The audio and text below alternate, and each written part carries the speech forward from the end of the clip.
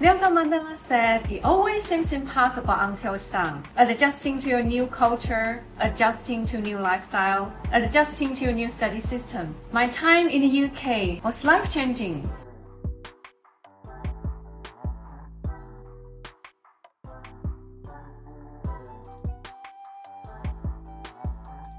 The UK experience has broadened my horizons. It has opened up a new opportunity for me and a new world for me.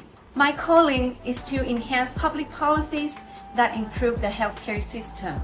To that point, much credit is due to my father. His example as an orthopedic surgeon, a shining example of a man who always put the interests of his patients front and center. He's my guiding star.